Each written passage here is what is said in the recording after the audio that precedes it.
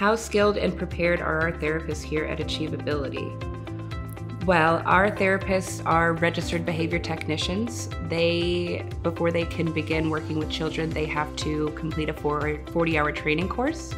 They have to complete a competency assessment with their supervising analyst to ensure that they understand all of the procedures and all of the basic principles.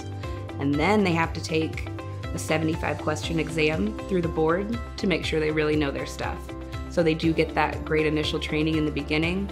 And then as soon as they come on board, we do onboarding training. And then we also do training every day while they're working with the client directly.